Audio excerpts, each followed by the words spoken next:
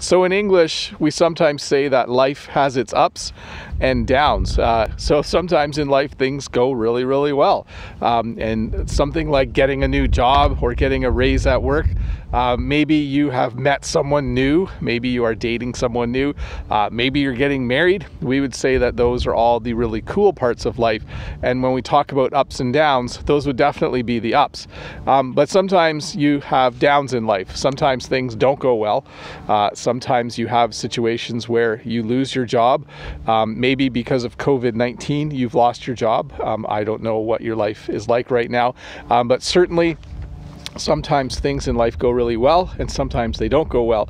Now, we don't usually use these separately. We usually just talk about ups and downs together. We usually say things like life has its ups and downs.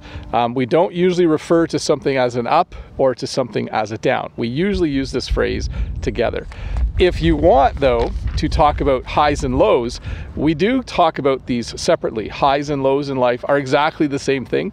Uh, sometimes you have things in life that go really, really well, and we would call those highs. And sometimes we have things in life that don't go well, and we would call those lows. Um, so you can definitely say that when you went on a trip, there were lots of highs on the trip. Um, sometimes you can say that there was a part in your life where there were just a lot of lows. So to re- refresh, uh, life has its ups and downs. That means it has its good moments and its bad moments.